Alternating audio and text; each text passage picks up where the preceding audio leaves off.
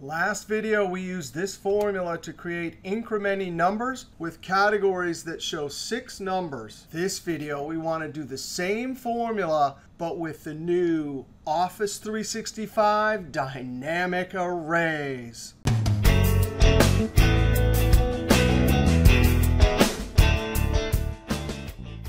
Now this formula is a fine formula. The dynamic array formula we're going to create is going to be a bit easier to create, but the biggest advantage is that with this formula, we had to copy it down. As we'll see with dynamic arrays, we don't have to copy the formula down. We're going to use one of the new dynamic array functions called sequence. Now, currently, August 5th, 2019, it's only in Office 365 Insider Edition. Now, how many rows do we need to copy this down? Well, I already took the final upper end divided by the increment in this cell. So we have 250 rows, comma. For columns argument, the default is 1, which is perfect for us, comma. Well, we're starting at 1, comma. And the step is 6.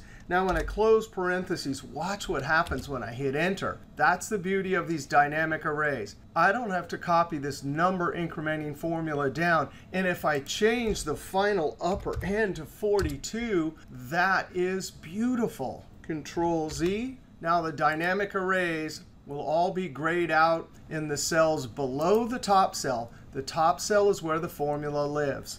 F2. We need to join it in double quotes with a dash. And then we join it to a second sequence. Here, while we need the same number of rows, comma, comma, the start is going to be 6, comma, step 6.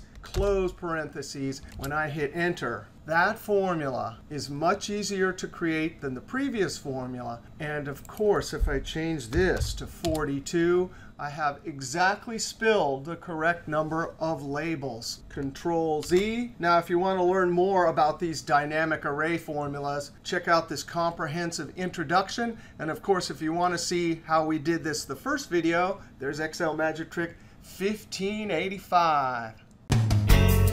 Música